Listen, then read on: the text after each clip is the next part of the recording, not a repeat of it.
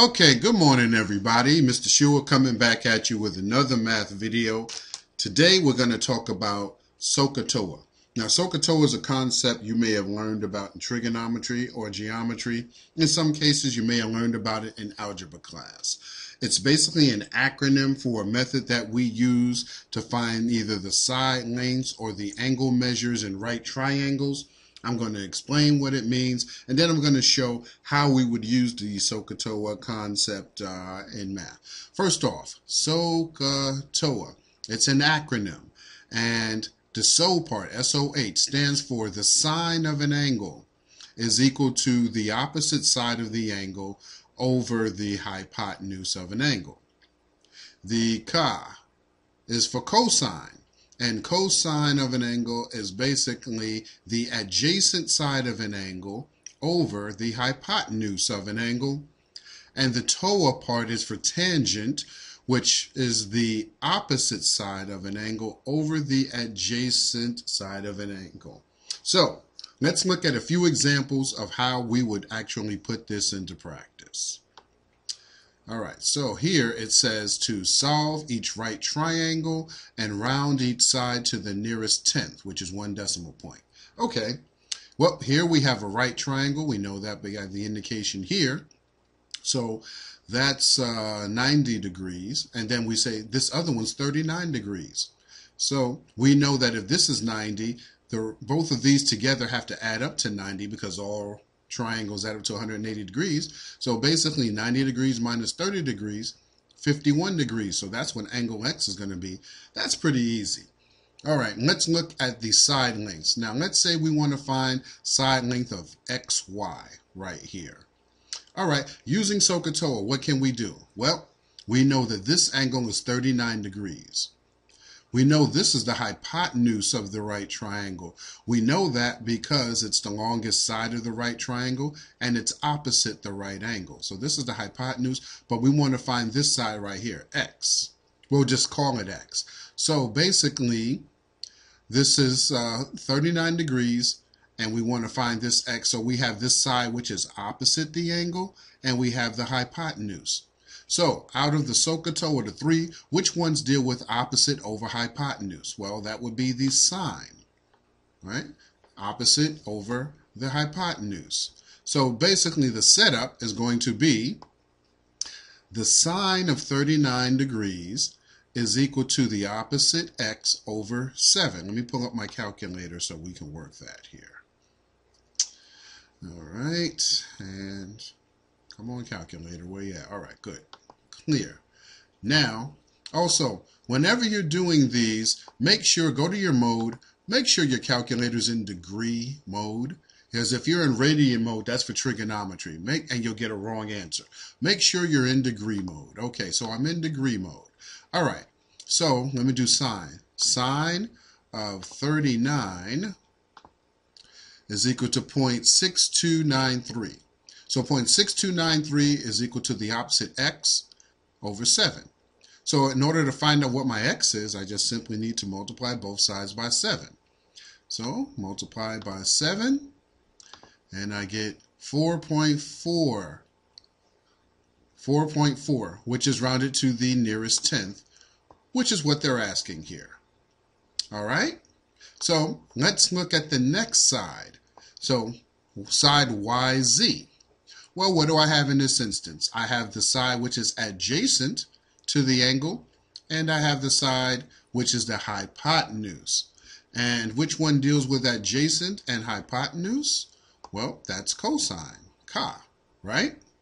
So, what I would do, come back calculator, and pull this back up here. I'm going to do the cosine of 39 which happens to be 0.7771, equals my adjacent over my hypotenuse, right? So set up here, and then again to solve for x, I would multiply both sides by 7. So I multiply by 7. I get 5.44, well 5.4 rounded to the nearest tenth. So this is going to be 4.4 for the length of the side. This is going to be 5.4 for the length of the side. Okay, let's look at the next example here. Let's see what we have. All right, so we know this is a right triangle. We have angle E is 24 degrees. We have a side that's opposite. And let's say we're trying to find this is adjacent. So opposite and adjacent. So opposite and adjacent, that's TOA, tangent, right? Right there, opposite and adjacent. All right, so let's come on back here. So what I would do is the tangent of 24 degrees, which happens to be 0.4452, is equal to the opposite, 14, over the adjacent of x is what we want to solve for. Now, in this case, whenever the x is on the bottom, the way that you solve for the x is whatever number is on top divided by this. So obviously, so it's going to be 14 divided by this 0.4452.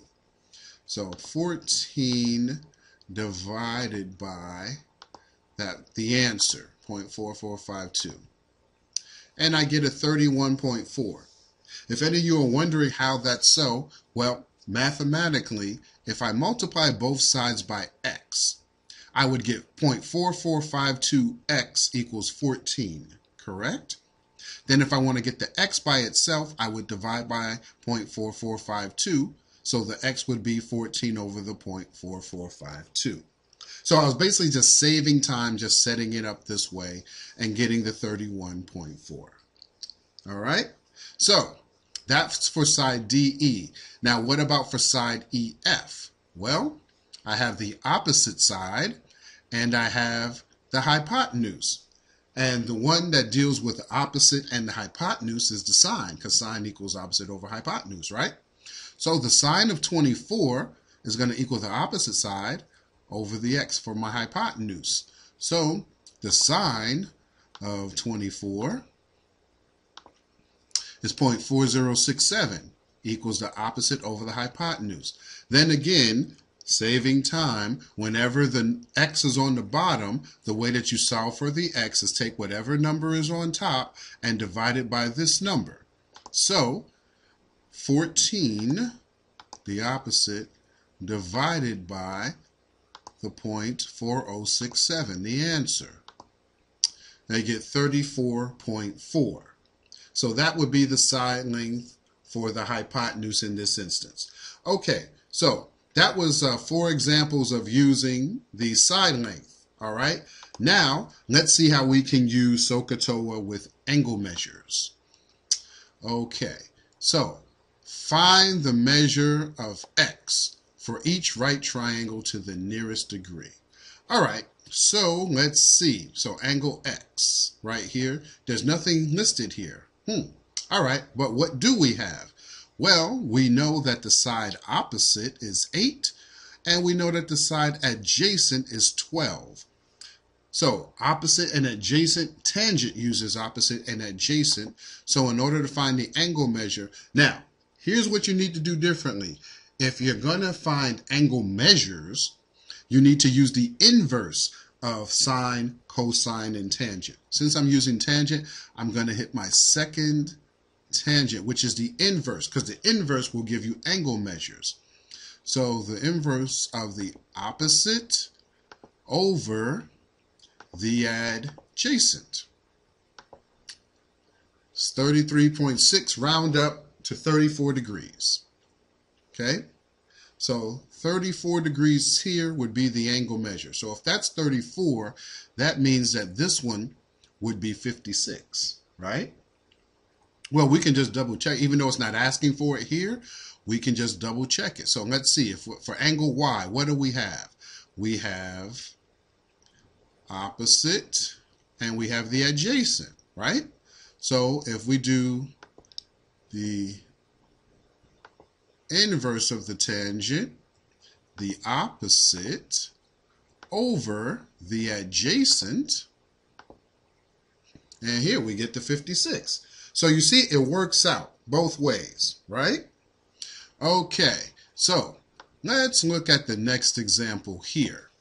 So for a measure of angle x, I have the opposite and uh, oh jeez. Mm. Hey babe. How you doing? Can I call you back in just a minute? I'm filming a video. Okay. All right, it'll be like a minute or two. Okay. Oh, okay. Sorry. And you know what? I'm going to leave that in. don't matter.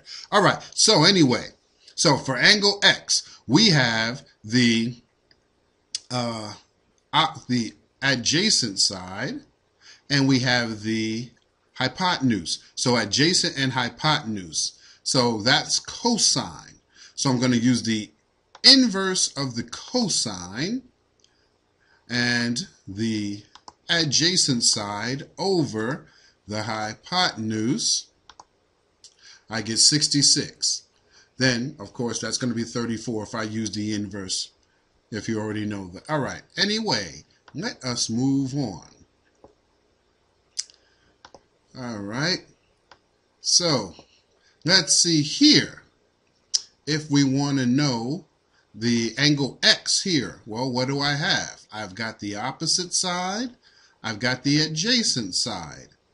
So that's going to be opposite adjacent tangent. So the inverse of tangent equals the opposite side over the adjacent side and 66.8, which is 67 rounded to the nearest degree, right?